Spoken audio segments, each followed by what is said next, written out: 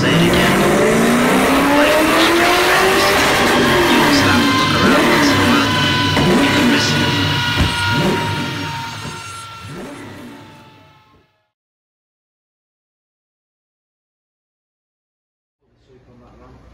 a stunning FN2.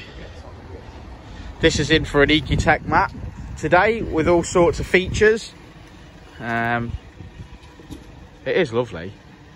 It's but that's probably the cleanest red one I've seen.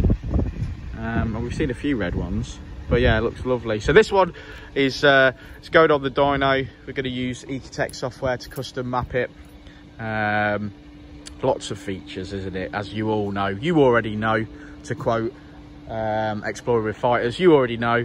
Um, it's got um, it's got to have flat foot shifted, launch control, auto blip, custom maps, uh, anti-theft, um, valet mode. Yeah, custom map that is valet mode. Yeah, we'll see what power she makes. I'm liking the uh, I'm liking the rear spoiler edition. Guys, let me know if that's a Seeker one or a Tegiwa one. I don't know whether it's the same thing, whether that's what it's called. Remember, guys, in the comments and stuff below, you let me know what what mods you've got to your FN2 or what you're doing to it. You know, I'm still uh, I'm still modifying mine and seeing running a series of experiments. So I want to know what you guys are doing to yours. Um, I want to know what fuel most of you are running. Got a good friend of mine, Paul West, and he says that uh, V power is not necessary on these, but I'd like to run that experiment and find out. But yeah, so give us a shout, guys. Subscribe, like, drop some comments. Let me know what you're doing with your FN2s. Let me know what power you've made if you've had a map. And uh, we'll speak to you soon. Let's get cracking with this one. Well, it's on the dyno. Disclaimer filled in. Good start. Computer booted up.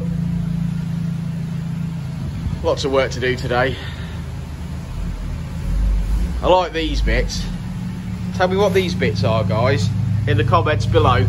Tell me where I get that from for mine. I like it.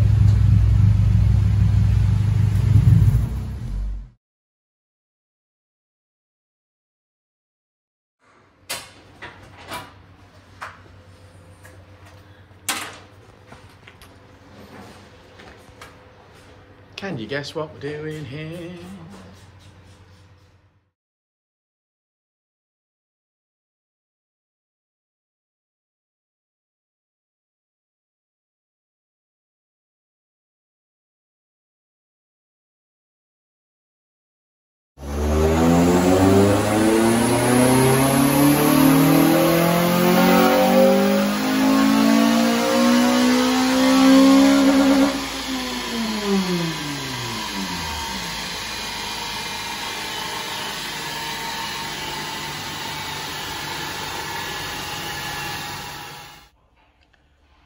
Counter going up as we uh, install our Ecutek race ROM file.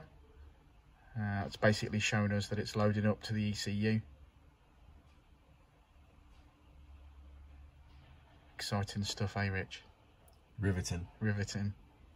Got any paint I can watch? Dry?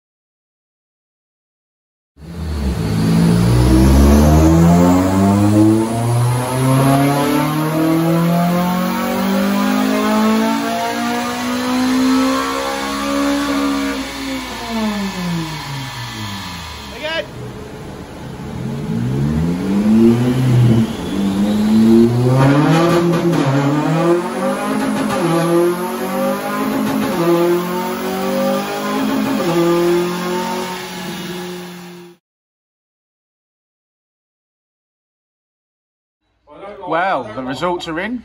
So as you look, we made some power in the mid-range as we expected. A little bit at peak power. Um, yeah, so 206 to 210 with the custom map.